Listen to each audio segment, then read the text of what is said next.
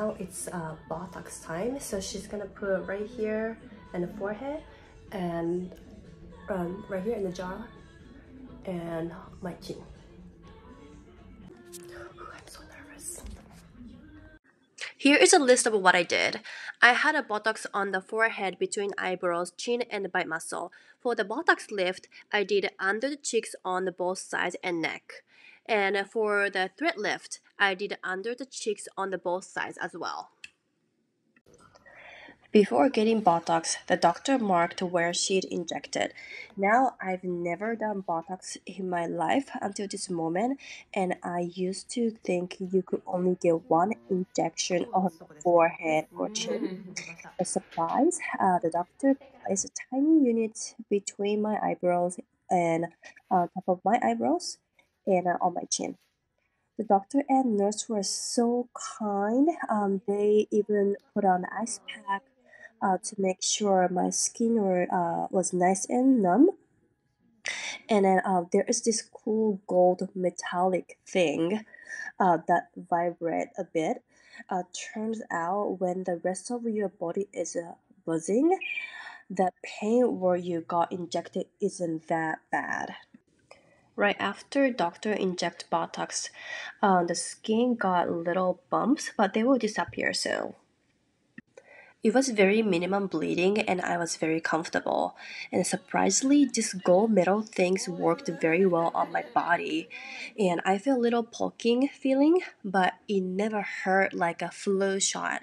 Okay, next, uh, I got a Botox on my biting muscle. Um, this one it helps uh, by reducing teeth grinding.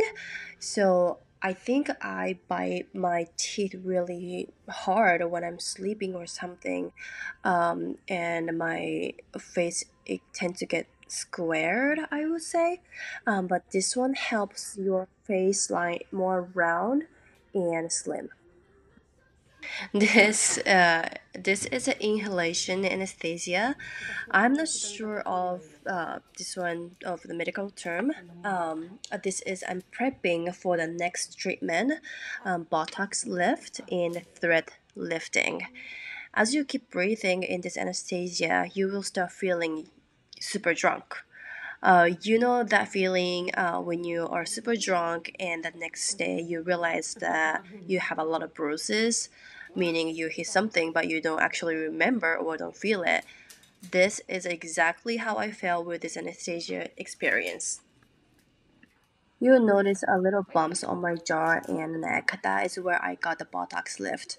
And those small yellow things on my face, that's the thread lifting but it's not um, the regular thread lifting. There is a super tiny threads, and I've heard that this small thread lifting is less downtime and less swelling compared to the regular thread lift.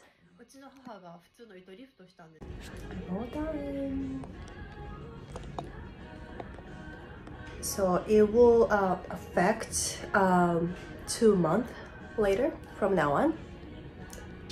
So it's a little bit bumpy.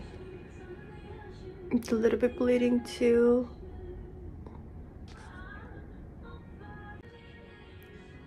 So now it's all bumpy.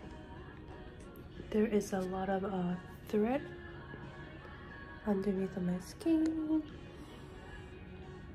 And this is the Botox lift. This is uh, right after all the um, procedure. So it's all done so my skin is a little bumpy. And then my neck too. So all the lift up uh, you feel it's working. And doctor says it's about uh, two months after from now in the next video, I'll be sharing the new skincare items that I bought at this clinic, providing a downtime report, filler procedure, and I think everybody curious about how much did it cost of all these procedure. Thank you for watching. If you enjoyed this video, don't forget to hit the uh, like button, subscribe for more content. If you have any recommend uh, skincare product or treatment, please leave it on the comment. I want to try. Uh, your support means the world to me. Catch you in the next one.